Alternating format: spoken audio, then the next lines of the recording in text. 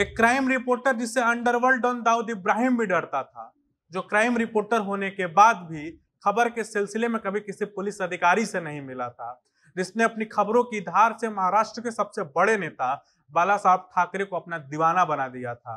ये कहानी है भारत के एक ऐसे अक्खड़ राजनेता की, जिसने अपने करियर की शुरुआत पत्रकारिता से की, जो आज देश की राजनीति में चर्चा का केंद्र बना हुआ है। ये कहानी है संजय राउत की। वही संजय राउत जिन्हें बीते दिनों ईडी ने गिरफ़्तार कर लिया है। इस रिपोर्ट में हम आपको बता रहे हैं पूरी कहानी महाराष्ट्र की राजनीति के कद्दावर नेता और अपने बेबाक अंदाज से अपने बात को कहने वाले संजय राउत की।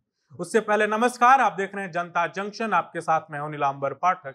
और कैमरे के पीछे खड़े हैं Vishal. S K Mandal group of institutions, nursing paramedical, pharmacy और मैनेजमेंट पाठ्यक्रमों के लिए मुफ़्त ट्रेनिंग का अवसर लेकर आया है। छात्र ऑनलाइन आवेदन भरने के लिए www.skmgi.in पर जाएँ तथा ऑफलाइन आवेदन उपलब्ध है S K Mandal group of institute के किसी भी संस्था या हिंदुस्तान मीडिया के पटना, मुजफ्फरपुर, भागलपुर या गया के कार्यालय में। आवेदन शुल्क मात्र दो सौ है और फॉर्म जमा करने की अंतिम तारीख है तेरह अगस्त दो हज़ार बाईस। अधिक जानकारी के लिए स्क्रीन पर दिए गए नंबर पर संपर्क करें। संजय राउत का जन्म 15 नवंबर 1961 को महाराष्ट्र के अलीबाग में हुआ था। उन्होंने अपने ग्रेजुएशन की पढ़ाई मुंबई यूनिवर्सिटी से की और साल उन्नीस सौ तिरानवे में उनकी शादी वर्षा राउत के साथ हो गई। बीटेक की पढ़ाई करने के बाद भी संजय राउत ने अपने करियर की शुरुआत पत्रकारिता से की। संजय राउत 1990 में महाराष्ट्र के लोक प्रभाव पत्रिका में बतौर क्राइम रिपोर्टर पद पर रहे।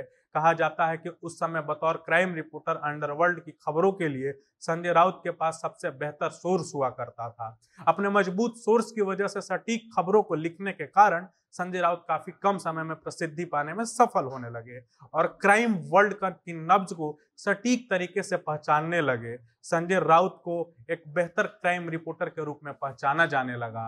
संजय राउत के जीवन में बड़ा बदलाव तब आया जब साल उन्नीस में शिवसेना के मुख्य पत्र सामना के लिए संपादक पद की भर्ती निकली। अपने खबरों के कारण पहले से ही खासा चर्चा में रहने वाले संजय राउत ने इस पद के लिए जब अप्लाई किया तो यह खबर बाला साहेब ठाकरे को मिली। क्राइम खबरों के लिए संजय राउत की समझ और सोर्स को देखते हुए बाला साहेब ठाकरे को भी संजय राउत पसंद आ गए और बाला साहेब ने संजय राउत को सामना पत्र का कार्यकारी संपादक बना दिया।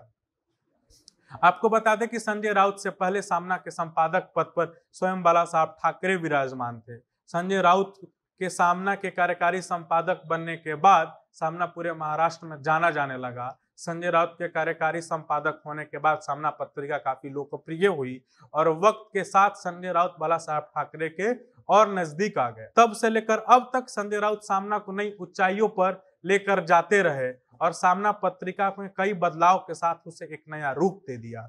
इधर बाला साहब ठाकरे का विश्वास संजय राउत पर दिन ब दिन बढ़ता गया और वे देखते ही देख ठाकरे परिवार का एक अभिन्न हिस्सा हो गए। बात यदि संजय राउत के राजनीतिक करियर की करें तो बाला साहब ठाकरे को संजय राउत का राजनीतिक पिता माना जाता है। संजय राउत सामना के कार्यकारी संपादक पद पर रहते हुए शिवसेना में भी सक्रिय सक्रिय हो गए। शिवसेना प्रमुख बाला साहब ठाकरे के कहने पर उनको उपनेता बनाया गया। उसके बाद वे राज्यसभा पहुँचे। हालाँकि इस दौरान उन्होंने बिना किसी चहलकदमी के शिवसेना के लिए काम किया, लेकिन साल 2019 में जब भारतीय जनता पार्टी और शिवसेना एक दूसरे से अलग हुए तो संजय राउत ने फ्रंट फुट पर राजनीति करने की शुरुआत कर दी। इस दौरान उद्धव ठाकरे ने भी संजय राउत पर खूब विश्वास किया और साल 2019 में महाअघाड़ी गठबंधन के लिए उद्धव ठाकरे द्वारा संजय राउत को विशेष ज़िम्मेदारी दी गई। लगभग सभी राजनीतिक पार्टियों में अच्छी पैठ होने के कारण संजय राउत ने इस ज़िम्मेदारी का निर्वहन बेहतरीन ढंग से किया। और महाराष्ट्र में महाअघाड़ी गठबंधन की सरकार बन गई। सरकार का नेतृत्व शिवसेना कर रही थी। लिहाजा संजय राउत का कद दिन ब दिन और बढ़ता चला गया। बीते दिनों जब महाराष्ट्र में राजनीतिक उथल पुथल हुई और शिवसेना के उनचालीस विधायकों ने अपनी ही पार्टी का दामन छोड़ दिया, तब भी संजय राउत ने उद्धव ठाकरे के हाथ को मजबूती से थामे रखा। इस पूरे प्रकरण में संजय राउत ने मजबूती के साथ उद्धव ठाकरे की ओर से मोर्चा संभाले रखा। हालाँकि तमाम राजनीतिक उपलब्धियों के बाद भी अब संजय राउत की मुश्किलें बढ़ने वाली हैं।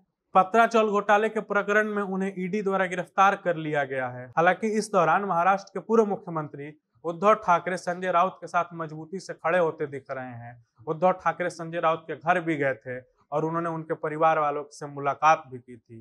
कैसी लगी आपको यह हमारी रिपोर्ट? कमेंट बॉक्स में ज़रूर बताएँ।